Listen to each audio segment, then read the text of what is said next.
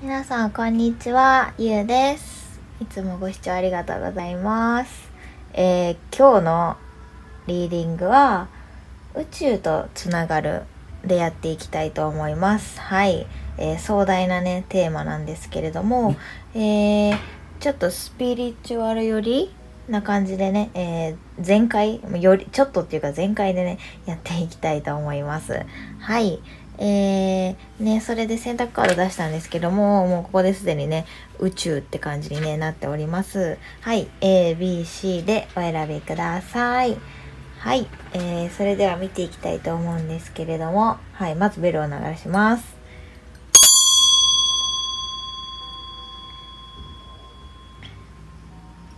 はい、えー、ちょっとね、あの、模様替えをしてみて、やる気を、はい、上げたりとかしてみました。なので、あの、画角とかちょっとまたね、すぐすぐ変わるんですけれども、えー、よろしく、今後ともよろしくお願いいたします。はい、それでは早速見ていきます。はい、それでは A を選びの方見ていきたいと思います。えー、こちらの方ですね、ノーリッシュですね。はい。もう地球が水面に 沈んでおりますね。えー A さんはもうすでにその現実世界とその潜在意識的な、まあ、水面下で起こっていることというかその目に見えない世界というかそういう場所、うん、と半々でいらっしゃるっていうことなんですよね。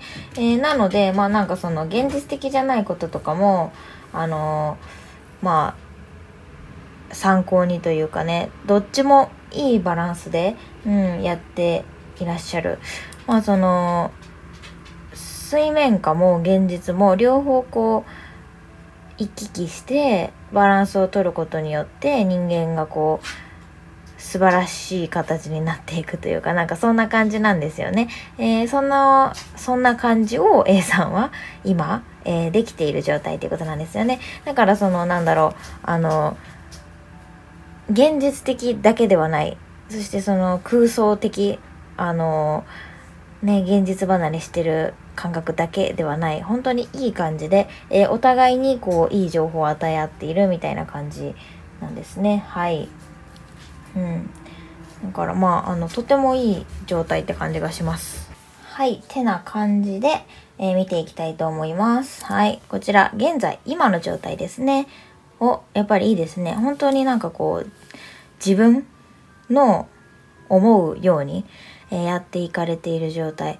だから本当にそのえー、まあ意識的になのか無意識的になのかわからないですけどここでね出ているようにもう半々になっていらっしゃるってことなので、えー、そういう宇宙意識とか現実意識とか本当にいい感じでねやられているので、えー、今うん。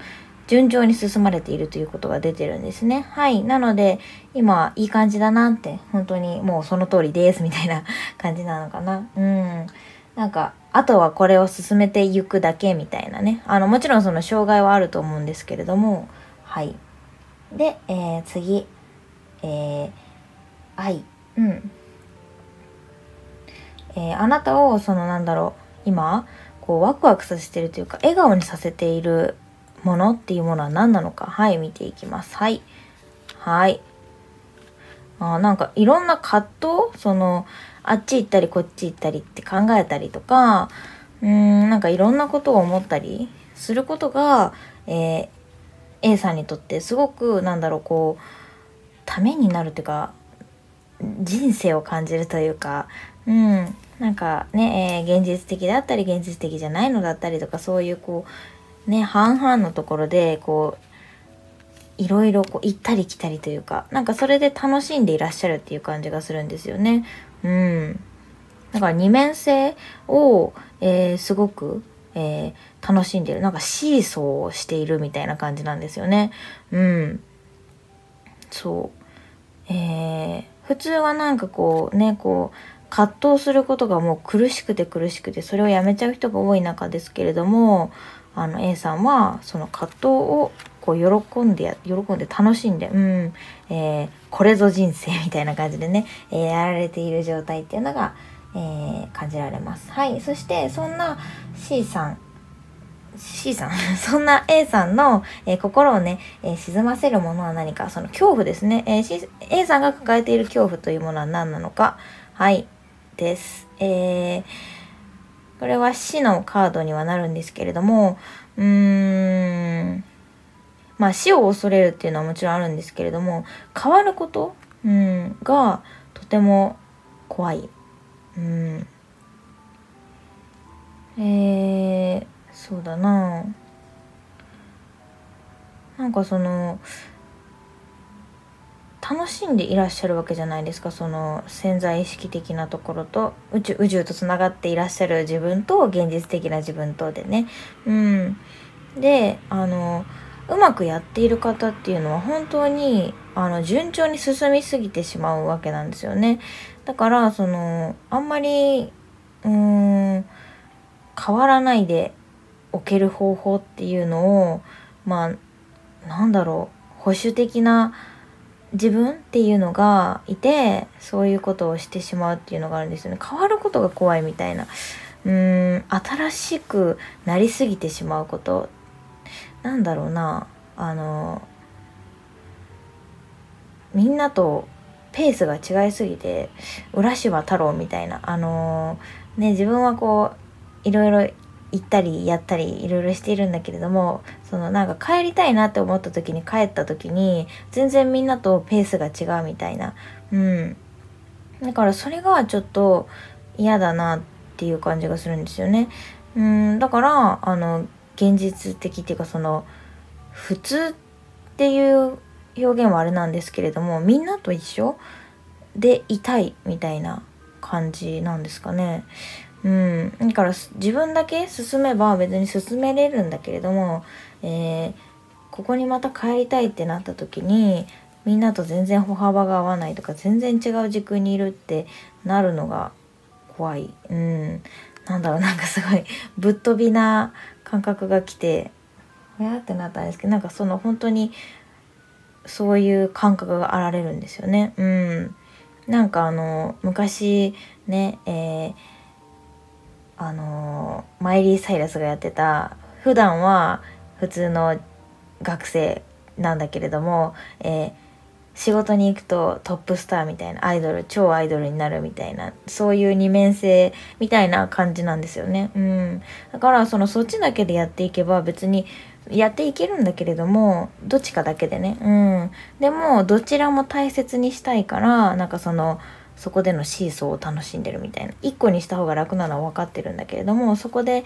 全てが変わってしまうことっていうかなんていうかそのうん何よりシーソーが好きなんですよね。うん。そう。だから、あの、そのぐらいしていた方が、あの、この現実世界ではちょっとちょ、ちょうどいいみたいなぐらいの感じなんですかね。うん。なんか、不思議な方ですね。はい。で、えー、そんな A さんの、えー、まあ、癒しになること、うん、あなたを癒すものっていうのはどんなことなのか、はい、見ていきます。はい。ハイプリエンスです。はい、えー、そうですね。やっぱり他の人と一緒に、うん、あのー、なんだろう、ね、あの、ペ、ん？なんて言うんだっけな、あの、重りじゃないですけれども、あなたの、うーんなんか気球かな？気球？あなたは気球なんですけれども、えー、あなただけだとその永遠に上昇してしまってもう二度と地上とね出会えないみたいなぐらいになっちゃうタイプなんですね。だから飛びたくない飛びたくないみたいなね。うん。だったらもうこのままここでしぼんってしとくよみたいな感じなんですけれども、えー、そうなってしまわないために何だろうあなたの重りになってくれる人を探すといいっていう感じなんですかね。うん、あなたちょうどよくまああなたのうんこう凄まじい勢いとか軽さとかなんかそんなことをこう抑えてくれる人うんなんだろうなあの船でも怒りがついていないとダメなようになんかそういうね、えー、あなたをとどめさせてくれる人そういうまあ人っていうかパートナーっていうか物でもいいんですよ。何でもいいんですよ。お仕事でもあの状況でもいいんですけどそういうことがあなたには必要なんですよ。ってことなんですよね。うん。だからあなたはあなたらしくねこうやだやだって言って羽ばたかないんじゃなくてあなたが羽ばたいた上ででもなんかこうね、えー、戻りたい時にこう、ね、風船の紐をこうやってやってくれるような人人っていうかそういうことを、うん、用意する用意するっていうかそういうものがあなたには必要なんですよみたいなことをね言われております。はい。ちょっとねあの 宇宙とつながるで見たんですけれど初め初めてっていうかそのぶっ飛びすぎる内容で見たのでねずっと伝わってますか？なんか本当にそんな感じで A さんっていうのはうん。本当になんだろう何のしがらみもなくやれば無限に進んでいけちゃうみたいなね。うん。でもそうするとやっぱりこう現実世界のバランスが崩れ秩序が崩れて、えー、あなたはもうここに帰ってこれなくなるみたいな感じでそれが嫌だからあの何もせずここにいるみたいなねとりあえずみたいな感じで、うん、でもそれだとせっかくね、えー、それだけの才能を持ってきているのにあの、ね、何もしないっていうのはあれなのでうまいこと、うん、あなたが大好きなシーソーと同じなんですよ。だからあなたあなた一人じゃ何の楽しみもないんだけれどもたまにあなたをこうね浮き沈みさせてくれるようなこう何かが必要なんですってことなんですね。はい。最後にもう一枚、えー、カード引きます。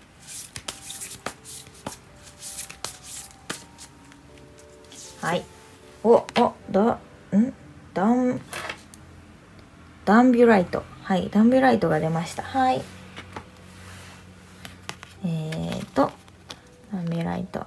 こちらのメッセージをいただきますね。Turn on your electric light. はい。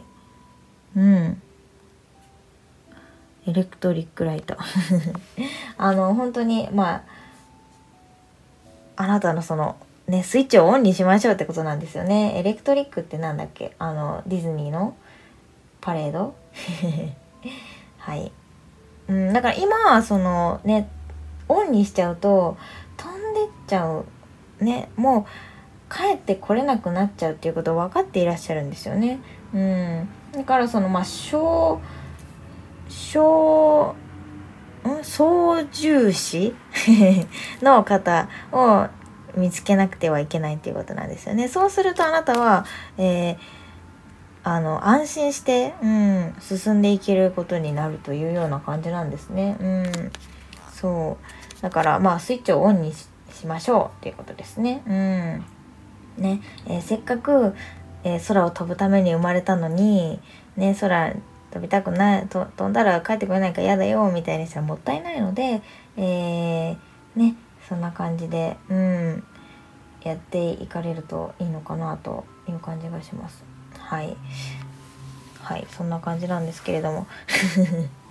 こんな感じで大丈夫かな？はい。A さん以上となります。えー、ねありがとうございます、えー、よろしければチャンネル登録や高評価ねお願いいたします。それではまたお会いしましょう。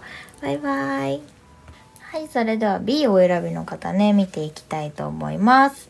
ソウルジャーニーですねえー、宇宙とつながるというテーマで見ていくんですけれども、えー、ソウルジャーニーなので、うん、今ね、あのー、旅を、はい、されている状態だと思うんですね。魂の旅ですね。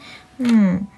なんか、あのー、なんだろう。いろんな出来事があったけれども、その全ては自分のためになることだからやってきたみたいなやってこれたみたいななんかそういう感じで、うん、楽しんでいらっしゃるっていう感じはするんですよね。うん、楽しんでいるんだけれどもまあ旅ってなんだろう人生の旅って楽しいだけではなくてなんか切なさとかあのなんかこうあるじゃないですか、うん、出会いがあれば別れがあるようなね感じで本当になんかそんな感じがするんですね。うん、だからうん本当に B さんっていうのはまああんまり難しく、うん、こう考えずね。これが B さんっぽいかな。なんかこう軽い感じ。うん。ふわーんと。うん。なんか眺めているって感じですね。あの自分の人生っていうものを。うん。であの全ての出来事は自分のねえー、まあ楽しんで感じているみたいな自分のためためになるっていうか全ては、うん、旅の醍醐味みたいな、うん、そんな感じで楽しまれている感じがします。はい。うん。そう、だからまあ、楽、楽になってゆく感じですかね。うーん。魂の旅。まあだから旅に出る前っていうのはね、それなりにこう、考えることがあったりとか苦しいこととかあったりとかねそこの場所に合わないから自分を探さ探すためにうん旅に出なくちゃっていう風にねなられてると思うのでなんかねこういろいろ試行錯誤されている方なのかなっていう感じもします。はい。で、えー、そんな今の B さんっていうのは、えー、どんな感じなのか今はいほうなるほど。自分の本当の正しさとは何なのかっていうようなことを、えー、見に来ている。見に見見ている。はい。見に旅をで旅に出たっていう感じなんですよね。うーんだからなんだろうあのーそういうね、小さな村でね、生きていると、これが当たり前みたいな、これが常識ですみたいな感じでなっていたと思うんですけれども、それって本当にそうなのかみたいな、えー、ことを気になって旅に出て、えー、自分が思う正しさっていうことは本当に正しいだろう正しいのだろうかそれともその当たり前と言われていることが本当に正しいのだろうかみたいななんかそんな感じで、えー、自分の正しさを確かめていらっしゃる状態っていうのかなだからなななんていうのかなそのえー、こうでしょって言われたら、そっかじゃなくて、こうでしょって言われたら、いや、私はこう思いますみたいなことを、あの、積極的に、えー、発言したりとか、あの、確認作業をされている感じがするんですよね。えー、ね、なんかこう、なんなんそれって言われるかもしれないけれども私は実はこう思ってるんでちょっと確認させてくださいみたいな。別にあのなんだろうあなたを責めたりとか誰かを責めたりっていうわけで言ってるんじゃなくて私はこう思うんですけれどもどうなんですかみたいなことを、えー、今、えー、知り知りたいというかそのためにいろんなこう経験をされたりとか、まあ、いろんな場所に行ったりとかで、えーね、自分の感覚をまあ研ぎ澄ましてるっていうのかな。なんかそんな感じですね。うん、でそんな B さんの愛、えー、今あなたの心を笑顔にしているね、うん、素敵なものって何なのか。はい。うん。やっぱりそうですねあのなんかこう他の人との、まあ、関わりの中から生まれてくるいろんなそういう発見とか、うん。ね、確認作業って言ってましたけれどもなんか自分はねこうやって思ってるんだけれども他の人ってどう思うのみたいないろんな価値観を吸収してそういう考えもあるんだとかあこれってこういうことだったんだとかだからそういうふうにみんな言ってたんだとかねなんかそういうことを知っていくことによって、えー、B さんっていうのはこう嬉しい。なんかこういろいろ知れ知れてっていうかなんか感覚、うん、が手に入って嬉しいみたいな感じでね今いらっしゃるのかな。うん、はい。で、えー、そんな B さんの、えー、恐怖となっているもの。あなたのその心の、うん、真実っていうものを沈ませていくもの。なんかこうね、えー、こう恐れになっていくものは何なのか。はい。うん悪魔のカードが反対で出ておりますね。えー、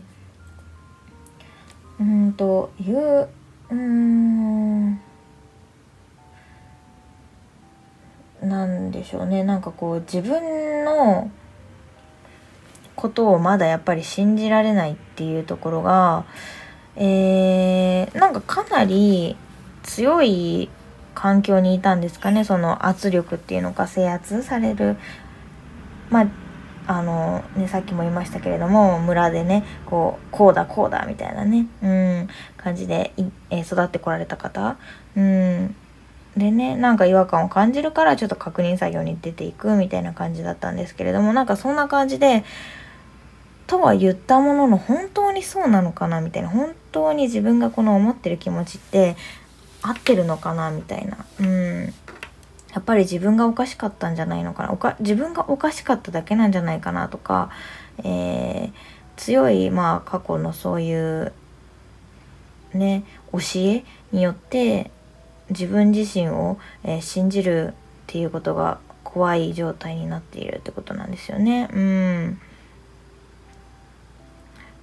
まあ自分に自信がないというか、うーん、なんて言うんですかね。なんかこう、自分は確認してやりたいだけなのに、なんか、自分なんて自分なんてって、自分がお前なんか、おかしいんだお前がおかしいんだみたいなことを、えー、なんかこうなってしまう感覚っていうのが、えー、あるのかなっていうことですね。うん、だからその新しい情報を収集して自分がこうひらめいたりとかするっていうことがすごくパッとね笑顔になるんですけれどもまあそうやって増やして増やして増やしていけばいくほど、えー、自分の中で消化そのいろんな気持ちとか記憶とかを消化する時に自分の心の奥にいる自分がそんなこと知って知ったってお前がおかしいんだとかお前が悪いんだとかなんかそういう自分自身に言われちゃうなんかそういう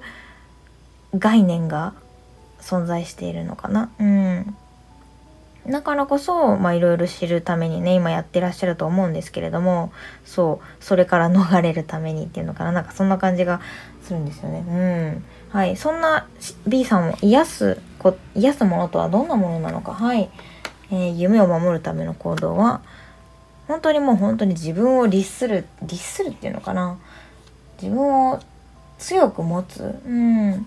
もう十分、あの、B さんはここまでね、えー、自分自身の力で、ね、サバイバルを切り抜けてきたと思うんですよ。そう、森の中でね、蛇をこう捕まえてみたいなね。うん。あの、サバイバルで一番蛇がね、あの、栄養豊富で食べやすいっていうじゃないですか。そう。なんかそんな感じでね、本当に、あの、そうやって頑張ってきて、きて、うん、あなたには、なんだろう、えー、十分強さっていうのがあるしいろんな方法いろんな考えを知って、えー、まあもう十分素晴らしい方なんですよ。だからその、まあ、過去のね教えによって存在しているそういう自分のエゴっていうのかな。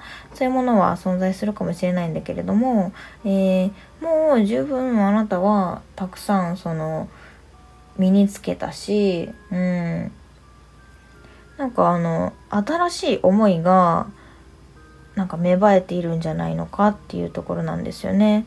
えー、まあこういう風に育てられた。なんかね、最近アニメをたくさん見てるので、あの、自分は暗殺者としてね、育てられたから、そういう道しかないのだ、みたいなね、えー、感じであるんですけれども、そういう人でもやっぱりこう、心の優しさっていうものを、あれば、あの、まあ、改めてそういう道で生きていくことだってできるわけじゃないですか。ずっとその同じ価値観、うん、で生きている必要はなくてまあ自分が変わってねいろんな方法でやっていくことができるようになったんだったら別にそうやって過ごしていくこともまあ可能ではあるんですよね。でも自分が認められないだけみたいなね。うん。なんかそんな感じなんですよね。はい。ね、そういうのは大体なんか異世界転生しちゃってみたいな感じになるんですけれども、異世界に転生転生しなくても、この現実であのあなたが、あなたの気持ち自身が転生すれば、もう、そういうことなんですよ。はい。なんかそんな感じでね、えー、自分の気持ちを切り替えるというか、うん。そうなんです。はい。いろんなことを知るために、その辛い過去があって、それがあるからこそ、それを乗り越えたいと思う気持ちが芽生えて、今のね、あなたにね、こうなってきているので、えー、いろいろこう、まあ段階があるので、うん。そう。あのー、また次のステージがあるのでね是非あの自分の中のそのい培ったものっていうのを改めてまあなんだろう何て言うのかな旅のお土産いっぱい買ったけど自分で何買ったか覚えてないみたいなね。だからもう一度その広げ直してあこれとこれ組み合わせたらこんなことができるね。あこれとこれが合わさったらこんなこともできるみたいな感じでちょっとその整理整頓っていうのかな。改めて考え直す、うん。えー、設計図を変えていくっていう感じで、うん、やるといいのかなと思いますね。だからまあその旅に出る前のあなたの考え方だけでえ考え方はそれだけになってて荷物はねたくさんあるんですよ。うん。だかそれとそれをいろいろ組み合わせていくとその元々の考えがなんかこういろいろバージョンアップするとかいろいろ変わっていったりするのかなっていう感じですね。はい。で最後に1枚引きますね。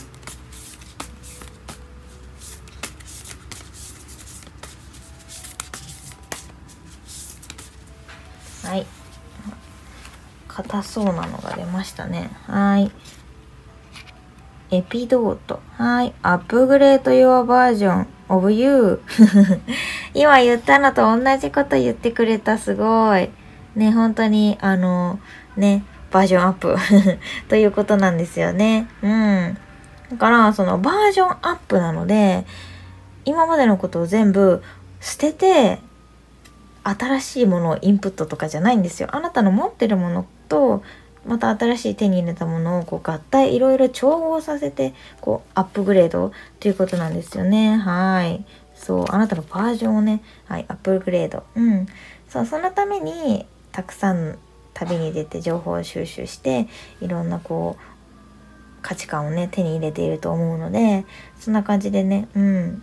今後とも、えー、過去に縛られるんじゃなくていろいろこう合わせて、えーね、セッティングして、うん、こうなんだろう、合わせ直す。はい、そんな感じでね、うん、えー、やっていただくと、バージョンがね、えー、自然と上がると思います。はい。はい、そんな感じで、えー、頑張ってみてください。はい。ということで、えー、B さんのリーディングは以上となります。いかがだったでしょうか？よろしければチャンネル登録や高評価ね、お願いいたします。それではまたお会いしましょう。バイバーイ。はい、それでは死を選びの方見ていきたいと思います。宇宙とつながるでね、見ていくんですけれども、はい、C さんはソウルライティング。はい、えー、なんかこう、魂の設計図を、えー、うん、いろいろ描いていらっしゃる。あの、自分で描いた通りのストーリー、うん、物語にしているっていうのかな。えー、引き寄せがしっかりできているっていうのかなそういうこう宇宙の摂理みたいなのをよく分かってるみたいな感じなんですかね。うん、なんかもう強そうですよね、このカードからして。はい。えー、まあ、あなたがあなたの人生の監督をしている状態ということなんですよね。はい。だからまあ、あの、思ったことは現実になる。やりたいと思ったことはやる。みたいな、なんかそういう、えー、素敵な、うん、感覚があります。はい。強い感じがしますね。えー、そんな C さんの今、えー、どんな感じなのか、はい、見ていきます。お、今、はい、本当に自然な状態。あのー、自然な状態っていうのは、その、生まれ持ったセンスだったり才能だったりいろんなこう全てをもうんちゃんと使っているみたいなね、えー、みんなそれぞれその使命があって自分のね与えられた能力があってみたいなことがあるんですけれどもそのそれを生かすか生かさないかによってあの幸せなのかなんかそのそううん不足感を感じるのかみたいなのになってくると思うんですけれども C さんはあの本当に、えー自分の本当の力を使って自分がその得るべきものを得て、まあ、本当になんかなんだろうよどみのない自然な状態みたいな感じなんですよね。うん。えー、そう変なことをしなくてももう十分だから自分のこう正しいことをずっとできているっていうのかな。だから、えー、変な欲がないっていうのかな。うん。本当になんかこう自分がやるべきだからあのなんだろう。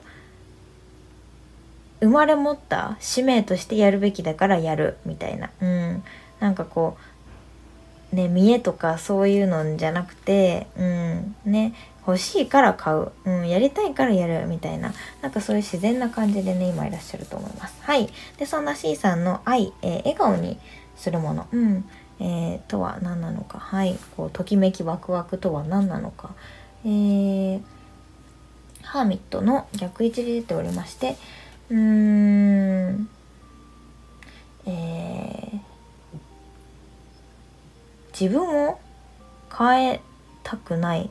今すごくうーんいい感じって言ったので本当に今が楽しすぎちゃうみたいな。うん。だからあのー、なんだろうな。これ以上いらないいらないことしたくないっていうか余計なことしたくないっていうのかな。なんかそんな感じでうん。今が最高みたいな。うん。だけれどもそのなんだろう。うーん。今なんかそういうパートナー的なのを求めてるって感じなんですかね。うん。仲間が欲しい。仲間 仲間が欲しいというか仲間がもういらっしゃって、えー、この仲間と離れたくないみたいなね。うん。もう一人にはなりたくないみたいな。このまま、えー、みんなとこうやって幸せに、うん、いたいみたいな、えー、ねえーまあ自然な自分でいると本当にそういう合う仲間とね必然的にあの集まってくるので本当にこう今最高すぎてもうこれ以上何もいらないし何も奪わないでくれみたいな 感覚なんですかね。はい。で、えー、恐怖、えー B えー、C さんの恐怖となっているもの。はい。えー、あなたの心を沈ませるものは何か。うん。うーん。ここでこれが出るんですねなんかあーなんかこのままでいいってていうのが傲慢になっている状態っていうのかな、えー、本当は何だろうそのいろんなもっともっと可能性があっていろんな道があっていろいろできてみたいなんだけれどもそのいろいろっていうのを踏んでいくとやっぱり試練とかいろんなねえー、障害が生じてくるわけじゃないですか。なんかそれに伴って起きてくることが嫌だみたいな。うん。もう何も起きてほしくないみたいな。だからそのもっと自分らしくというかもっとあなたの才能を使って何かできるはずなんだけれどももう何もしたくないみたいな。これ以上何も動かないでくれみたいな。うん。あのーねえー、なんだろうな。本当にうん。まあねエヴァンゲリオンの シンジ君みたいですね。もうこのままでいいよみたいな。もうなりたくないみたいなね。うん。でもそうなんですよね。あのそれってその方がいいだろうしねそのまま何もないことに越したことはないんだけれどもそういうわけにもいかないのでそれってつまりあの自分を逆に苦しめてしまうことになったりとかなんかそういう感じでね。うん。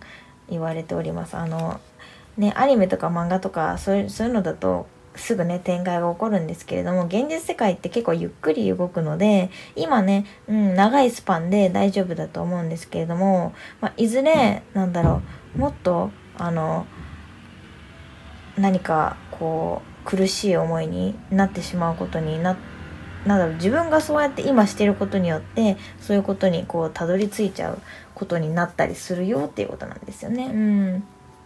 順調に進めておけばよかったんだけれどもやっぱりその何も進まないでほしいなっていうので何もしないっていうとなんかこうどっかで動いてること、うん、を回避できずになんかそれが大きくなった時にこう出会ってしまってみたいなことにねうんなんだろうなんか 不思議ですね。そう。うんなんか本当に物語っていう感じですねで、えー、そんな C さんを癒すものうんえー、夢を守るためにどうしたらいいのか。はい。ハングドマン。はい。釣り、吊るし人。はい。が出ておりますね。うん。はいやっぱりそうですねあの今の素晴らしい状況のから状況へ執着してしまってるんですよね。うん、全然いいんですよ。もちろんその大切な時間を大切にするのはいいんだけれどもあのー、なんだろう。必ず変わってゆくわけなんですよね。うん、自分が変わりたくなかったとしても勝手に変わっていくから、えー、こうね変わりたくないっていう思いと変わる現実で摩擦が生じてやっぱりこうおかしなことになってあの細かいスパンでなんかこういろいろ対処していったら、えー、そういう小さいことで終わるんですけれどもこう摩擦をね作りに作ってしまうとやだやだみたいなこのままこのままかこのままがって思っているとこうなんだろうパスパスパスってしたものが大きくなって大きくなって大きくなってその時にあなたにやっぱりこうなんだろうね降りかかってくることになるからあのー、やるべきことはやっぱりやらないといけない。その心のねいろんなあれがあるんですけれども我慢するべき時は我慢しないといけないし超えなくちゃいけない時は超えないといけないんだよみたいなことでね。うん。そうあの十分うまくやっていけるんだからそのねえー、うまく？もうちょっとうまく？うん。心がやっぱりちょっと傷ついている状態なのかな？うん。だからそうだなまあもう一度魂の設計図じゃないですけれども自分の人生のあの設計図を書き直していただくといいのかな。今がもちろんねいいから何も思わないっていうのもあると思うんですよ。もうこれ以上特に何も思うことありませんみたいな欲しいものもやりたいことも特にないですってあると思うんですけれどもあのなんだろう。うん改めて、うん、書き直してほしいってことなんですよね。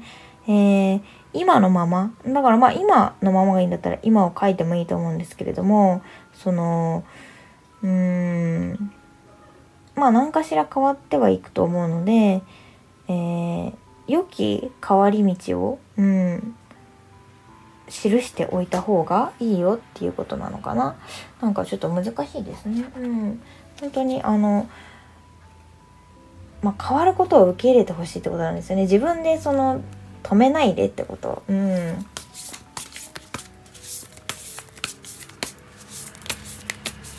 はい最後の1枚いきますね。はいこれ綺麗なやつ出ました。